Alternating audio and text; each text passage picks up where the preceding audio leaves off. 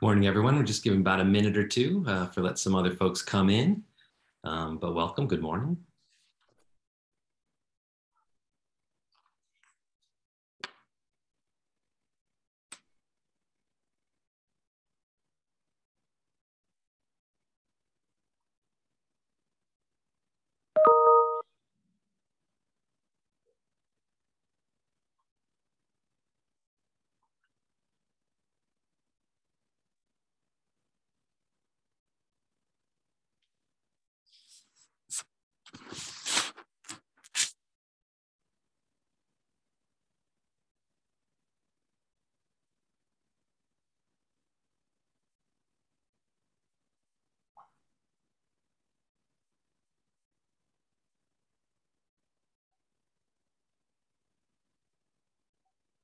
All righty. Just a few more seconds in case there's anyone still logging in.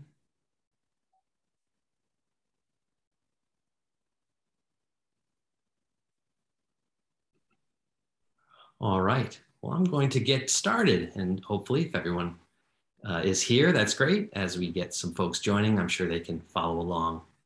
Well, good morning, everyone. On behalf of Child 360 and Early Edge California, I'd like to welcome you to our webinar, Perspectives from the ECE Field, Pandemic Experiences and Workforce Needs. It is particularly meaningful to discuss workforce issues today, which is a day in which we honor Cesar Chavez, who was a champion of workers. My name is Bill Sperling, and I serve as Child 360's CEO.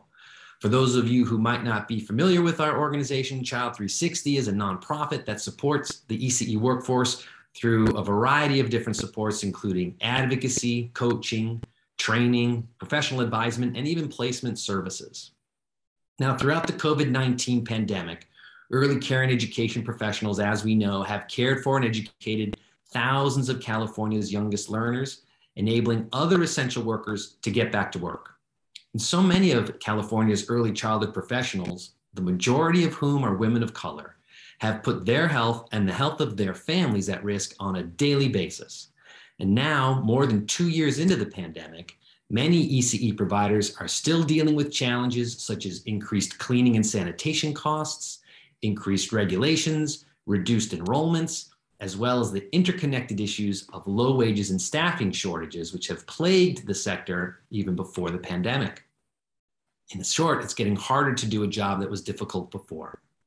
In the research and remarks you'll hear today, you'll learn more about those challenges that the ECP, ECE professionals are facing and about the workforce related and financial support they need as we live in and eventually emerge from a COVID impacted world. Now, to kick us off today, we'll hear from California State Senator Connie Leyva, who's been a tremendous early learning champion uh, even before the pandemic and who represents the residents of Senate District 20. After that, we'll hear highlights from our new policy report to be provided by Child 360's Director of Public Policy, our own Elsa Jacobson, and Early Edge California's Director of Dual Language Learner Programs, Caroline Crolotte. Following their presentation, we'll hear remarks from Aurora Portia Reyes, She's a childcare provider who, direct, who directs the Reyes Family Childcare right here in Los Angeles. Then we'll have a series of policy recommendations followed by a short Q&A and we'll hear from Early Edge California CEO Patricia Lozano. We encourage you to stay with us for the entire webinar and please feel free to include your questions in the Q&A section. Uh, we may not be able to address all the questions today, but we will do our best to respond to you individually following the webinar. Now, before I turn my uh, the time over to Senator Leyva, I would like to introduce you to our interpreter, Anne Guzman, who will explain how to listen to the webinar in Spanish. Anne? Hi, everyone. I'm Anne Guzman, like said, and I will be giving instructions on how to listen in Spanish. Bueno, hola a todos. Si prefieren escuchar este webinario en español, van a hacer clic en el símbolo que parece un mundo en la parte posterior de la pantalla y van a elegir español. Gracias. Gracias, Anne. Now, I'd like to turn the time over to Senator Leyva. Thank you, Bill. Good morning, everyone. It's such a pleasure to be with all of you as the chair of Senate Education and the former chair of the Legislative Women's Caucus. I'm so excited that Child 360, Early Edge California, and many others of you work every single day to ensure that California's children have the strongest possible start so that they can achieve their fullest potential. After all, these are our future leaders. One of them might be our next senator. As I mentioned during last year's webinar, the Legislative Women's Caucus has fought for increased access to subsidized childcare for over 20 years, way before I even came to the Senate. And for the last decade, the sole budget ask of the Women's Caucus has been related to childcare and its many evolving needs, from increasing provider rates to increasing slots or to enhancing workforce development for ECE professionals. Now that it has been over two years since the COVID 19 pandemic began, so hard to believe, the world has finally begun to realize, as we all already knew, that childcare and ECE work is absolutely essential, especially if you are a working parent and especially if you are a working mom. Sadly, during the pandemic, many childcare providers were forced to close, while others stayed open to serve families of essential workers across California. While I'm no longer the chair of the Women's Caucus, I remain so committed to these issues. Last year, I introduced the Child Care Stabilization Formula, SB 246, rate reform, which I had put on hold the previous year to focus on reversing the proposed 10% cut to provider rates. SB 246 sought to establish a single regionalized reimbursement rate system for childcare, preschool, and early learning services. I've always believed that we needed re to restructure how we reimburse providers to allow them to keep their doors open and to serve more children. Provider rates must also be raised equitably across the board, regardless of the type or location of the provider. As I've said many times before, it is vital that we invest in childcare providers, since without quality, affordable childcare, there will be no lasting recovery for any parents, and especially for working moms. Um, no one will be able to go to work. So you can imagine how incredibly thrilled I was when over $2 billion one time and ongoing funds for childcare reimbursement rate reform were proposed in the Senate and were proposed and then passed in the budget last June. So much of SB 246 was put into this budget ask but sometimes the governor likes to put things in the budget so he can claim credit. That's fine. We just want to make sure the right thing happens. So, universal preschool. You may have heard that I recently introduced SB 976, which will establish universal preschool in California. Specifically, SB 976 will make sure that parents have the option to send their children to a public elementary school or community based childcare provider to benefit from universal preschool. This important bill will also help protect the stability of jobs for teachers as providers, which employ, as we heard, primarily women and primarily women of color. If these facilities uh, into the community close, which will very likely happen if we cannot expand flexibility, many women will lose their jobs and families will have fewer options for their children. It is critical that Californians offer flexibility and options for working families, especially working families with children who would benefit from transitional kindergarten, but are not able to access those services because of their own day to day responsibilities.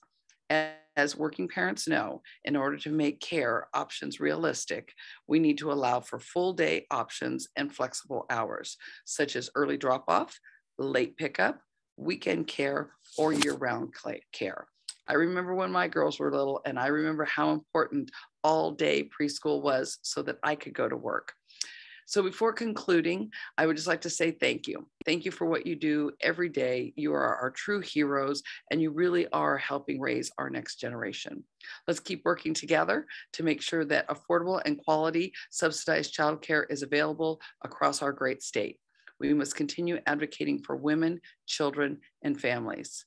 Clearly, there's more work to do, but we must do what we can to ensure that there's increased access to affordable and quality subsidized childcare and early childhood education. I thank you all for having me and thank you for the great work that you do. Well, thank you so much, Senator Leyva, for being such a powerful advocate for ECE professionals and for young children and their families, and for consistently championing the issues of fair compensation and so many others for the ECE field. We're extremely grateful for your work and very appreciative that you joined us today. Thank you. For having me. It's my pleasure. Be well. Well, with that, uh, I'll introduce myself. Uh, my name is Elsa Jacobson, and I serve as the Director of Public Policy at Child 360. And I'll be sharing some of the highlights of our ECE report with you today. Um, if we could please bring up the PowerPoint presentation.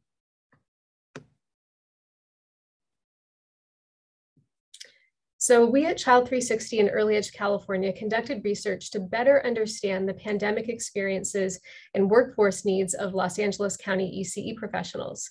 We developed an online survey that was administered to providers and teachers working in ECE programs throughout LA County for whom Child 360 and the Child Care Alliance of Los Angeles are providing quality improvement services. We also surveyed a cadre of ECE professionals in Pomona Unified who are not receiving these services. Next slide, please. 618 ECE professionals completed the survey in November, and 86% were providers and 14% were teachers. Over 82% of respondents were people of color. Next slide, please. Just over 40% of respondents worked at a family child care home. And we were really pleased to have been able to reach so many FCC professionals whose perspectives are not always reflected in research. The remaining 58% of respondents worked at centers, from those affiliated with school districts to community-based organizations, private centers, and programs at community colleges or four-year universities. As you can see from the slide, the vast majority of respondents served preschoolers, nearly 70% served toddlers, over 50% served infants, and just over 40% served school-age children.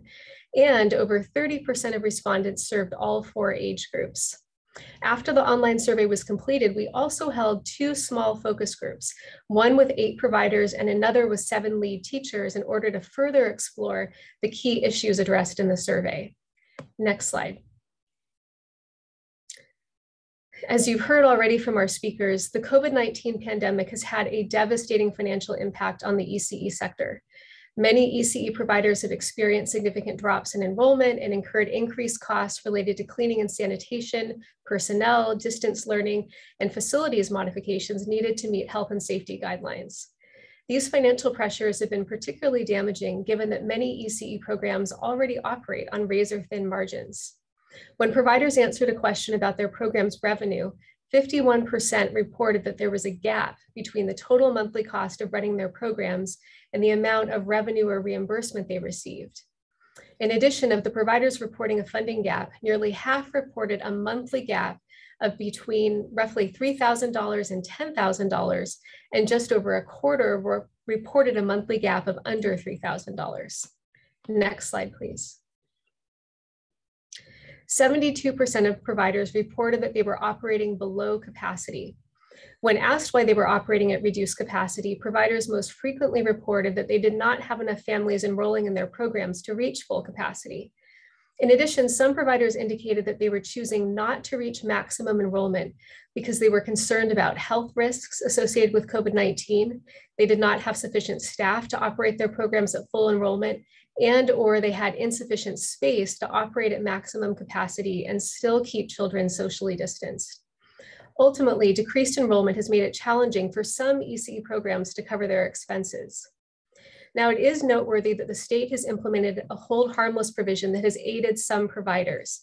For example, it enables providers who contract directly with the state um, to be reimbursed at 100% of their contract maximum reimbursable amount or their expenses, whichever is less.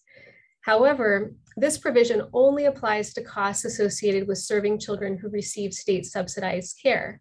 So when a provider experiences a drop in enrollment of children who are not receiving subsidized care, state subsidized care, the provision doesn't provide financial relief for this revenue loss.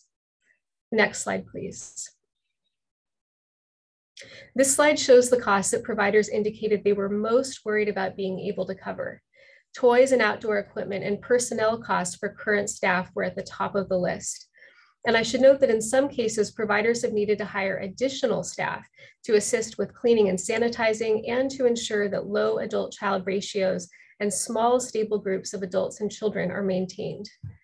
Next slide, please. The 2021-2022 state budget included relief funding for ECE programs and families, as well as ECE expansion funding. This funding was much needed.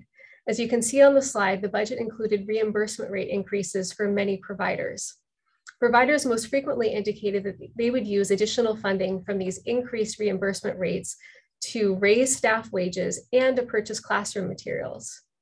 It is important to note, however, that these new rates are based on an outdated market rate survey from 2018, and they're not keeping pace with inflation. In addition, while voucher-based providers in Los Angeles County saw their rates increase, many voucher-based providers, particularly centers in rural counties, did not.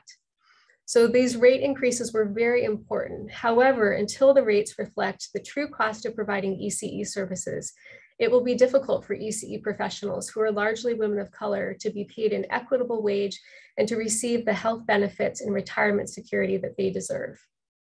The state budget also included funding for several types of provider stipends to help programs in meeting challenges caused by the pandemic.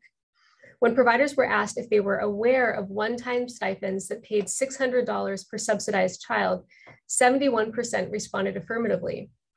In addition, 18% responded that they were actually unaware of the stipends, and 11% indicated that they did not operate a state subsidized program. Providers who received the stipends most frequently indicated that they would use the dollars for PPE and or cleaning supplies and for employee salaries. The state budget also included 250 million for a new grant program that will fund the construction, renovation, and repair of ECE facilities.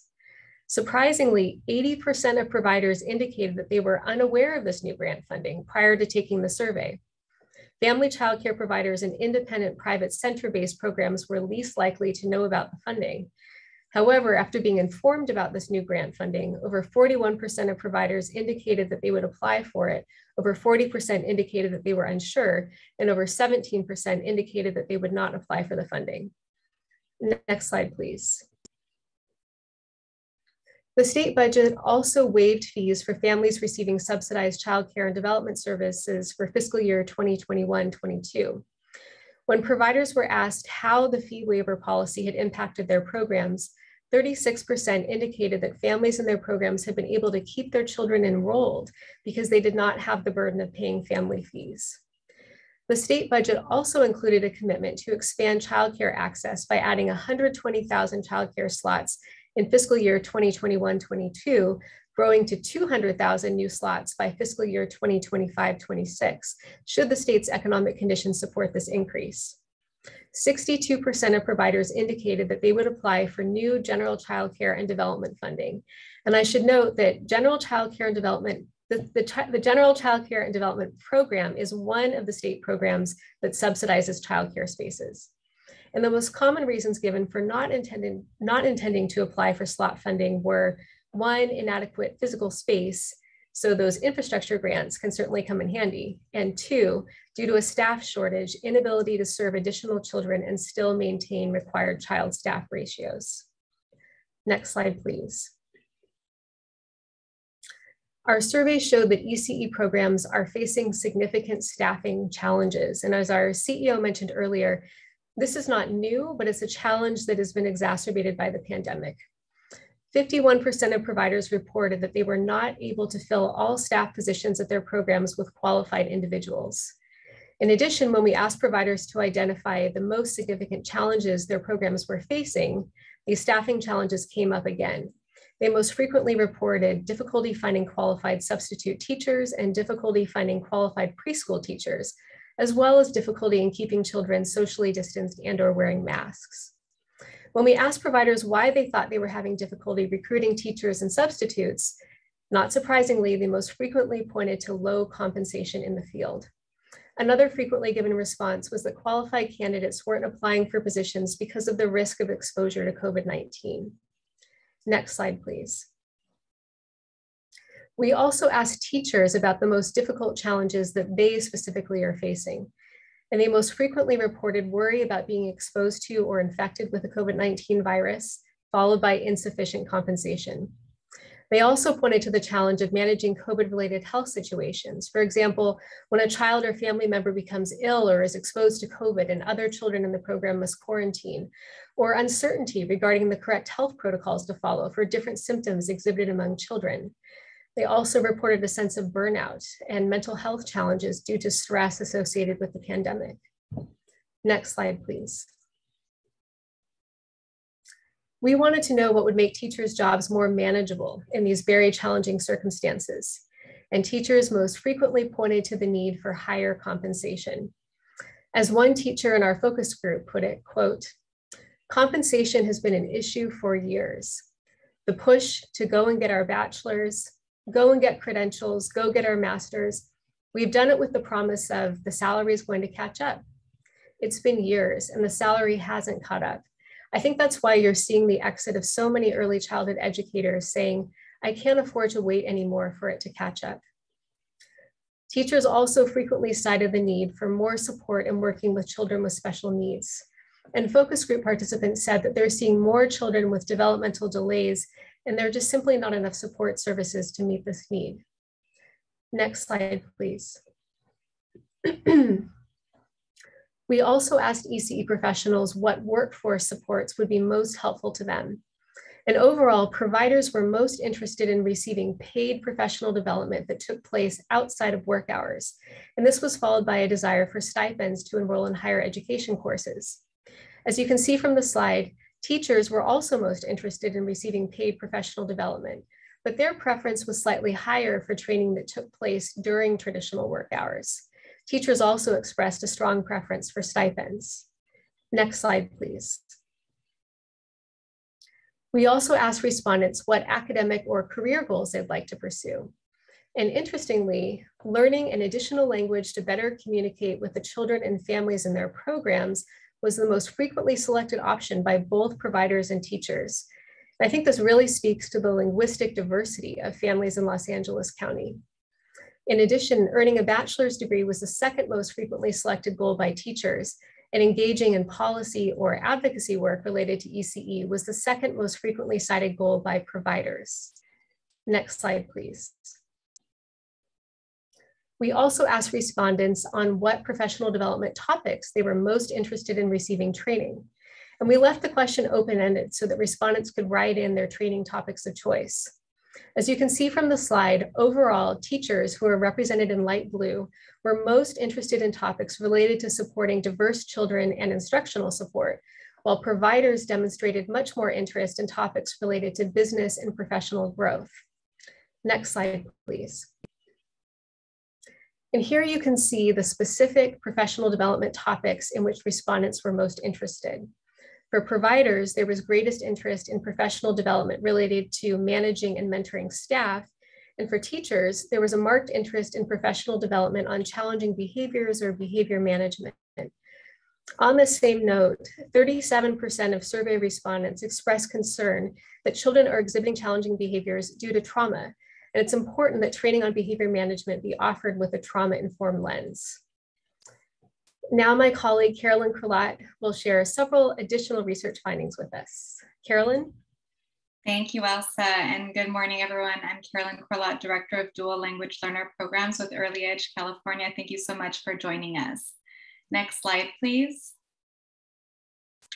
So we were we asked survey respondents what the key indicators of quality in preschool and infant and toddler programs should be, and they were able to check up to six indicators from a list that we provided to them. And respondents most frequently indicated a safe and stimulating environment for children as a key indicator for both types of programs. And respondents also identified the same eight indicators as the most critical for both types of programs, which you can see here on the slide. Next slide, please. In California, nearly 60% of children ages five and younger live in a home where a language other than English is spoken. And these children are known as dual language learners. Nearly three quarters of survey respondents reported serving DLLs. And it's also no noteworthy that respondents identified 22 different languages spoken by the children in their programs, which really speaks to the di diversity of our state. And 95% of respondents indicated that children in their program spoke English, 78% reported that children in their program spoke Spanish, and 14% indicated that children um, spoke Mandarin. And these were the languages that respondents most frequently indicated that children in their program were speaking. And we also wanted to share a little around our findings around dual language programs, which are those in which children are taught literacy and content in two languages, English and another language. 44% of survey respondents reported serving children in a dual language program, and just over 87% of those respondents reported that the non-English language of instruction was Spanish. We also asked respondents who did not provide a dual language program if they would like to do so in the future, and 58% answered in the affirmative. And family childcare providers and providers who worked at district-based programs expressed the greatest interest in providing these programs. Next slide, please. So providers who expressed interest in offering a dual language program in the future were asked to identify barriers in doing this. And they most frequently cited a lack of training on effective dual language program practices. Also, a teacher in one of our focus groups said that she would need guidance on program requirements, including staff qualifications, in order to offer a dual language program. And another teacher suggested that bilingual educators who can provide ECE services in a second language should receive additional compensation for utilizing the skill. And we could not agree more. Next slide, please. We also asked respondents about the needs of families in their programs, and 82% of providers indicated that the majority of families in their program needed full-time care. And when providers were asked what services had been most requested by families in their program over the last three months, they most frequently cited preschool services and toddler care. Next slide, please. And finally, we asked respondents what they felt were the most prevalent challenges that families were facing. And nearly 70% identified stress as a prevalent challenge, nearly 60% identified financial insecurity as a prevalent challenge. And as you can see, many of the challenges identified on this slide are related and they indicate that challenges caused by and exacerbated by the pandemic continue. So next, we'll be pleased to hear from one of our providers who par participated in our focus groups, Aurora Reyes, who's the director of Reyes Family Child Care in Los Angeles. Thank you so much for joining us, Aurora. Thank you guys for having me. I'm pleased to be here. Um, good morning. My name is Aurora Portia Reyes. The children and their families affectionately call me Miss Portia in my program. I'm the director of Reyes Family Childcare in, in the Leimert Park community of Los Angeles. I've been working in the field of ECE for 24 years, and I've been a family childcare provider for 15 and a half years. This past August, I also earned my master's in human development. I'm sure you guys hear some of the kids in the background. I'm sorry about that. Um, I currently serve 10 children from the ages of 13 months to five years old, as well as one school age child, and the families come from Long Beach, Compton, and others and several other areas. Most of the children are with me between the hours of 8 a.m. and 6 p.m but some come earlier and some have stayed as late as 10 p.m. when their parents are working late.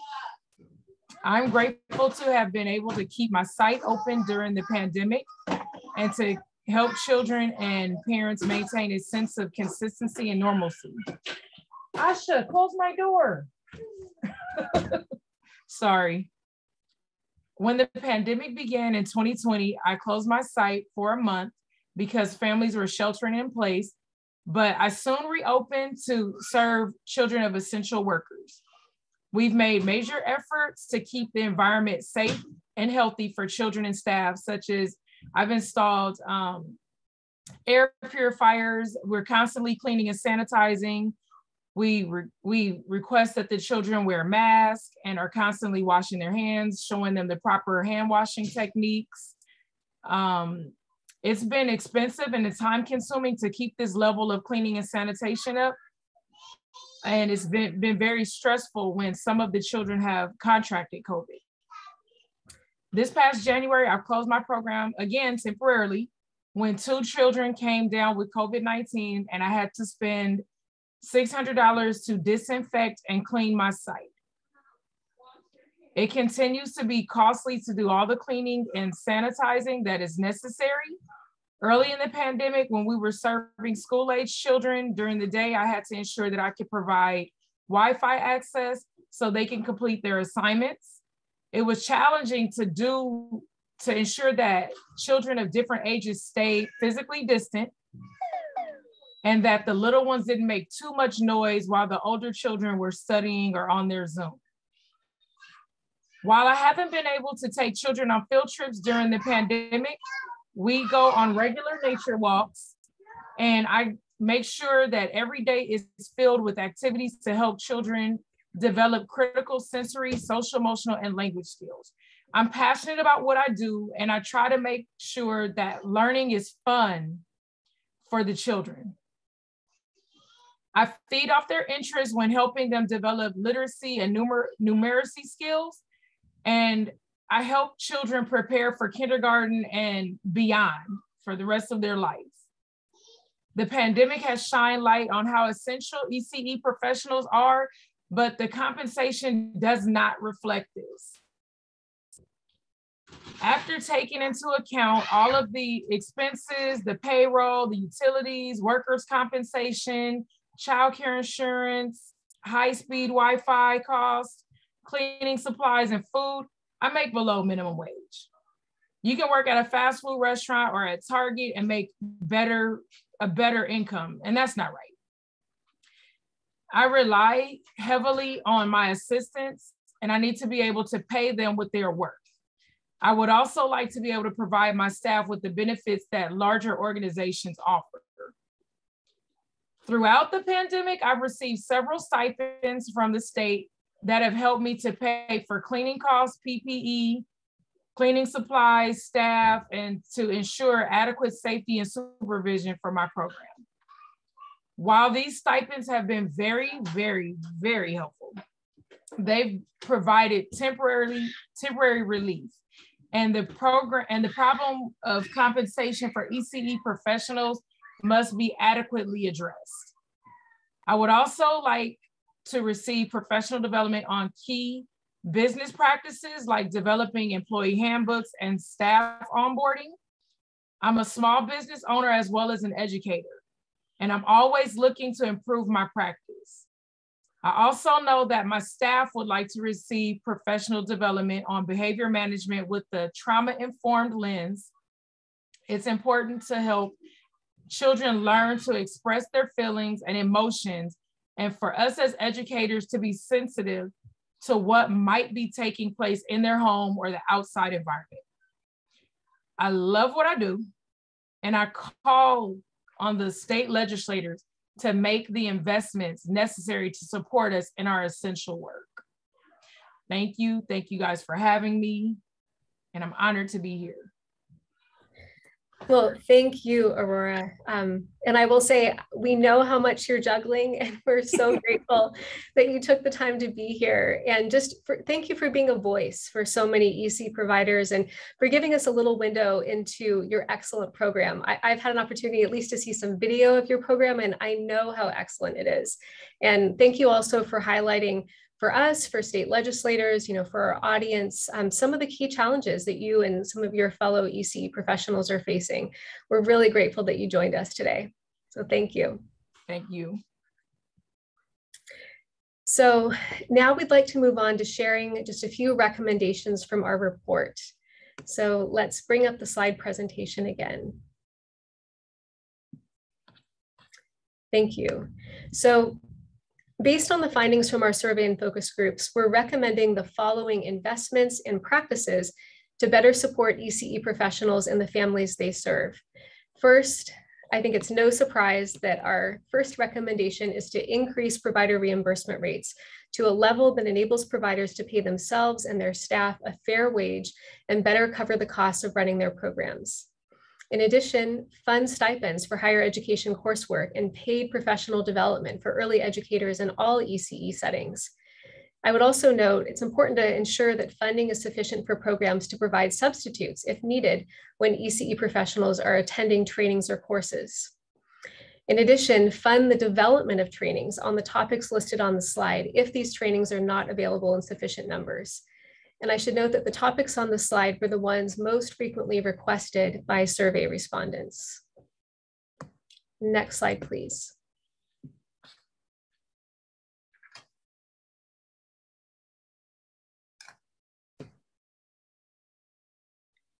So additional needs are funding more professional development training for early educators on working with dual language learners, as well as outreach strategies to recruit more current and aspiring bilingual educators to work with dual language learners, as well as funding more professional development training on working with children with special needs, as well as specialists who can work with ECE professionals to provide critical early intervention services to children in their programs. And finally, expand outreach efforts to ECE professionals regarding new grant programs or other funding opportunities. And policymakers might also consider, consider setting aside funding for outreach and new grant programs, as this would enable the California Department of Social Services to expand its outreach efforts to ECE professionals and to partner with state associations and our local agencies to inform hard to reach populations like license exempt providers and family child care homes about new funding. So that concludes our presentation. We saw that a few questions came up during our presentation and Elsa and I will be able to answer a few of them now. Um, we saw there was one about the total number of respondents to the survey, and that was 618. Um, and please feel free to add a couple more questions um, if you would like um, in terms of is there a community breakdown of where respondents were from? So these are from LA County, um, but we can follow up and share additional information from the different regions of LA County. Um, and thank you for joining us, Marlene. Great to see you. And Elsa, um, would you like to answer one of the questions? Yes, and I believe this was a question from Marlene. She asked what language was the the survey offered in. Um, it was well, it was in two languages. It was offered in English and in Spanish. Um, another question was, were the family child care providers who responded to the survey licensed? And yes, they were. All of the providers um, who responded to the survey were, they came from licensed sites and the teachers who responded to the survey worked at sites that were licensed by the state. Um, there's a question about what the average age is of FCC providers. Unfortunately, we don't have that information because we, we didn't ask uh, respondents' age.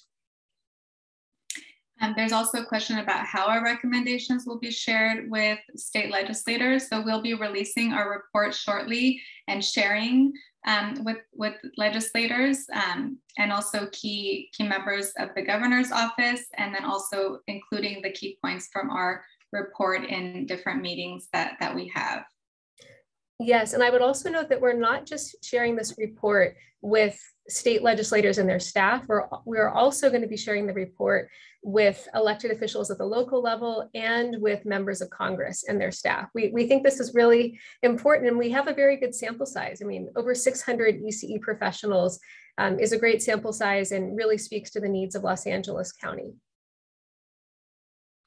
Um, and another question came in about the geographic areas. Again, um, this report is specific to Los Angeles County.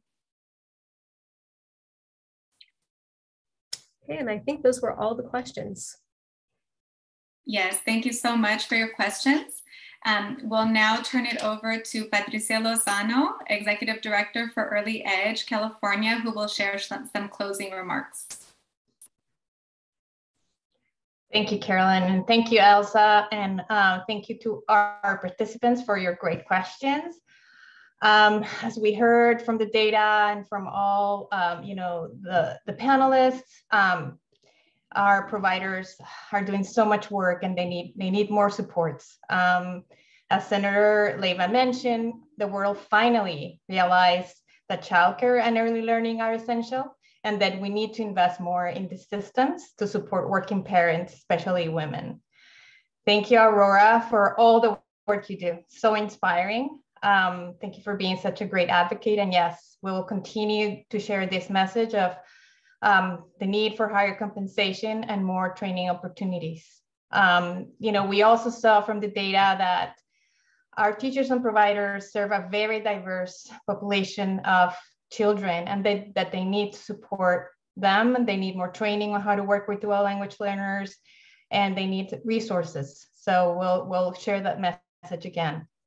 Um, as Carolyn mentioned and Elsa too, we'll be sharing the report and the recording uh, with all the participants and it's, it, it would also be available on our website, Early Edge websites and um, the Child 360 website. Also, if you have questions, please contact Elsa and, and Carolyn. Um, and um, feel free to send us additional questions um, if you have. So there are, the emails are right there. Um, and then, you know, thank you again, Senator um, Connie Leyva and Aurora Portia for joining us and for sharing um, your time with us. Um, and we'll, you know, we, we really share um, your, your concerns and we'll continue to share with others so we can um, change the policies and get, get a better supports for providers and teachers in California. I also want to thank uh, the Child 360 and Early Edge teams for, for gathering this critical data um, that will help us to, to really make a case for, for our teachers and providers. Uh, special thanks to all the 600 teachers and providers who participated in the survey and the focus groups to help us understand really the needs of those who um, take care and teach our children. Uh, to you and all the participants, we hope that this report will be valuable um, and that you, you know, appreciate it and, and learn today. Uh, and please, please share this with your networks. We need uh, the more people um, that we engage, the better. Uh, thank you all, and we'll see you soon.